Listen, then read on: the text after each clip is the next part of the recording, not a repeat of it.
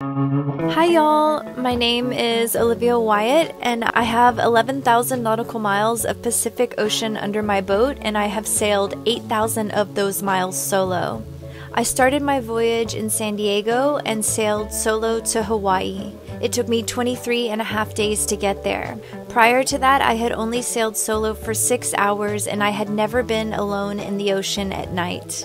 After Hawaii, I sailed onward to French Polynesia, Fiji, and Vanuatu, and I have no intention of stopping until I have ridden the trade winds all the way around the world.